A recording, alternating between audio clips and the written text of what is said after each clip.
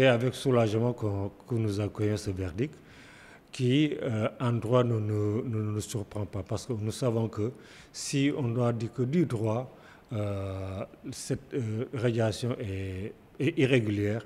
Donc, c'est le verdict le plus logique c'est la demande de, l'annulation de, cette radiation et ça, la réintégration de, notre leader Ousmane Sonko. Donc si on, s'en tient qu'au droit, euh, rien n'empêche euh, à notre leader Ousmane Sonko d'être euh, candidat à cette élection présidentielle. Bon, maintenant, si on prend d'autres considérations qui, sont purement politiques, en utilisant l'administration et en, utilisant la force, en passant par la, la justice, bon, on peut qu'il l'empêche d'être euh, candidat à l'élection présidentielle. Mais euh, c'est pour cela lui-même, il disait que euh, lui, sa candidature n'est pas un problème juridique, c'est un problème du peuple.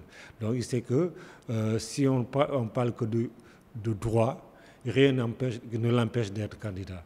Et, nous, nous, pensons que, et nous avons la conviction que si, que, si c'est seulement le droit qui doit être dit, il sera électeur et éligible. Nous, notre mot c'est toujours Focus 2024.